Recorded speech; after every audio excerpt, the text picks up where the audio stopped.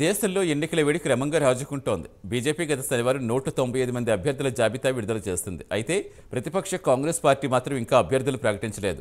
India కూటమిలో సీట్ల సర్దుబాటు తర్వాత మాత్రమే అభ్యర్థుల పేర్లు ప్రకటించే అవకాశం కనిపిస్తోంది. అయితే కాంగ్రెస్ పార్టీ మేనిఫెస్టో కమిటీ ముస్తాయిదా మేనిఫెస్టో తయారు చేసి కాంగ్రెస్ ప్రెసిడెంట్ మల్లికార్జున ఖర్గేకు గురువారం అందించింది. మేనిఫెస్టోలో ముఖ్యాంశాలేంటో ఒక లుక్ వేద్దాం.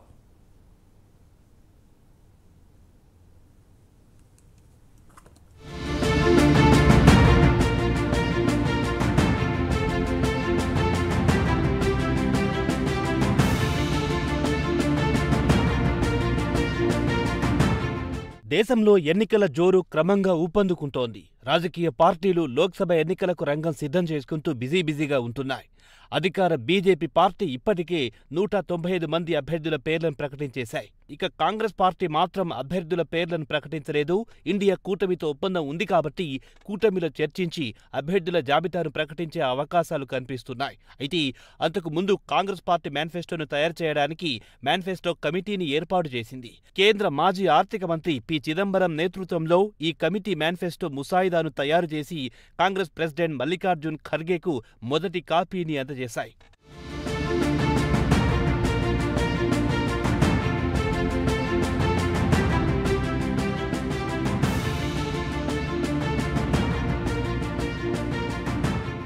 ఇక రెండు వేల ఇరవై నాలుగు లోక్సభ ఎన్నికల్లో మేనిఫెస్టోలో కాంగ్రెస్ పార్టీ ప్రధానంగా యువత మహిళ రైతులు వెనుకబడిన కులాలు పేదలకు పెద్దపీట వేసింది. తమ మేనిఫెస్టో గేమ్ చేంజర్ అని చిదంబరం అన్నారు. ఇక కాంగ్రెస్ పార్టీ మేనిఫెస్టో కమిటీలో సభ్యుల విషయానికొస్తే శశి థరూర్ కె రాజు గురుదీప్ సప్పాల్ ఇమ్రాన్ ప్రతాప్ గర్హీలు ఉన్నారు. ఇక ముసాయిదా మేనిఫెస్టో విషయానికొస్తే హరిత విప్లవం నుంచి శ్వేత విప్లవం ద్వారా ప్రభుత్వ రంగం కంపెనీలను బలోపేతం చేస్తామని పేర్కొంది. టెలికం నుంచి ఐటీ రంగంలో కూడా విప్లవాత్మకమైన మార్పులతో పాటు నిబంధనలను సరళీకృతం చేస్తామన్నారు.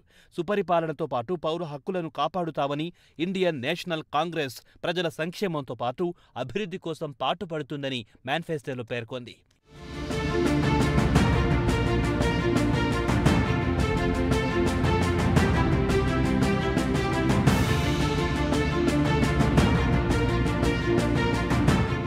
ఇక కాంగ్రెస్ మేనిఫెస్టో ప్రధానంగా యువతపై ప్రత్యేక ఫోకస్ పెట్టింది. యువతకు ఉపాధి కల్పిస్తామని దీంతో పాటు యువతకు ఎడ్యుకేషన్ లోన్లపై రిబేట్ ఇస్తామని హామీ గుప్పించింది. దీంతో పాటు కుల ప్రాతిపదికన జనాభా గణన ఉంటుందని దీని ప్రకారం ప్రభుత్వ ఉద్యోగాలు భర్తీ చేస్తామని ప్రకటించింది. అలాగే పెరిగిపోతున్న ద్రవ్యోల్బణాన్ని అదుపు చేయడం పెట్రోల్తో పాటు డీజిల్ ధరలు తగ్గిస్తామని హామీ ఇచ్చింది. ఇటీవల కాలంలో దేశంలో ప్రశ్నాపత్రాల లీకేజీల జాడ్యం పెరిగిపోయింది. ప్రశ్నాపత్రాల లీకేజీపై బాధ్యులైన వారిపై కఠిన శిక్షలు అమలు చేస్తామని పేర్కొంది. అయితే ప్రభుత్వ ఉద్యోగాల రిక్రూట్మెంట్లలో పారదర్శకత పాటిస్తామని హామీ ఇచ్చినట్లుగా పార్టీ వర్గాల నుంచి అందుతున్న సమాచారం.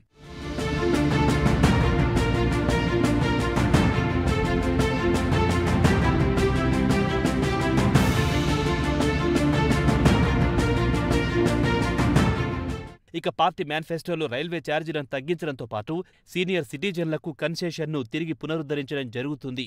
రైల్వే ఛార్జీలు ఇష్టమొచ్చినట్లుగా పెంచమని తెలిపింది. అలాగే రైల్వేలను ప్రైవేటీకరణ చేసే ప్రసక్తే లేదని తేల్చి చెప్పింది. కాంగ్రెస్ పార్టీ అధికారంలోకి వచ్చిన వెంటనే అగ్నివీర్ రిక్రూట్మెంట్ ప్రోగ్రాంను నిలిపివేస్తామని హామీ ఇచ్చింది. మిలిటరీలో పాత రిక్రూట్మెంట్ స్కీమ్ను తిరిగి పునరుద్ధరిస్తామని పేర్కొంది. ఇక మహిళల కోసం గృహలక్ష్మి స్కీమ్లో భాగంగా మహిళల ఖాతాల్లో నేరుగా డబ్బు డిపాజిట్ చేస్తామని హామీ ఇచ్చింది. ఇక రైతుల పంటలకు కనీస మద్దతు ధరకు చట్టబద్ధమైన హామీ ఇస్తుంది.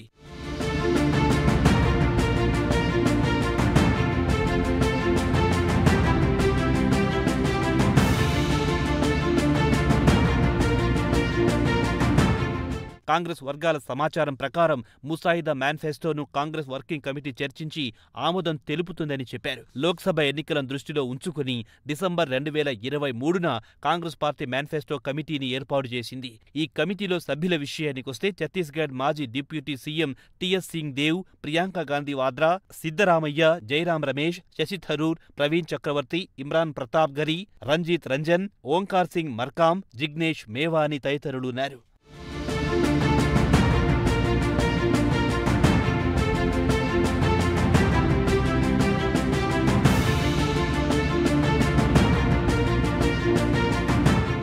ఇటీవల కాలంలో కాంగ్రెస్ నేత రాహుల్ గాంధీ ప్రధానమంత్రి నరేంద్ర మోదీపై దేశంలోని యువతలో పెరిగిపోతున్న నిరుద్యోగం గురించి పెద్ద ఎత్తున విమర్శలు గుప్పించారు. మంగళవారం నాడు రాహుల్ మధ్యప్రదేశ్లోని సారంగపూర్లో భారత్ జోడో న్యాయయాత్ర సందర్భంగా దేశంలోని నిరుద్యోగ యువత మొబైల్ ఫోన్లో దినమంతా రీల్స్ చూస్తూ కాలక్షేపం చేస్తున్నారని ప్రధానమంత్రి కూడా యువత దినమంతా సోషల్ మీడియాలో అతుక్కుపోయి జై శ్రీరామంటూ ఆకలితో చనిపోవాలనేది ఆయన ఉద్దేశమని ప్రధానిపై మండిపడ్డారు.